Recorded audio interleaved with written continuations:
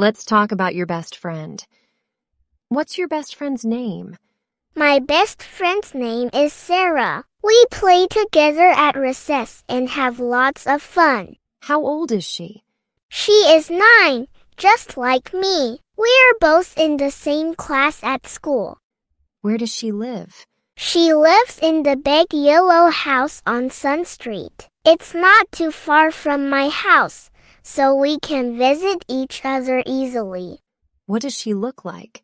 She has long, brown hair and pretty blue eyes. She likes to wear colorful dresses and always has a ribbon in her hair, just like a beautiful princess.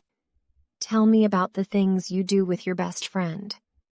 Sarah and I do lots of fun things together. We play with our dolls and have tea parties in my backyard. We also love riding our bikes at the park and drawing colorful pictures with crayons. Sometimes we sleep over, watch cartoons, and eat yummy popcorn. It's so much fun spending time with her. I'm here to help you practice speaking for Cambridge tests.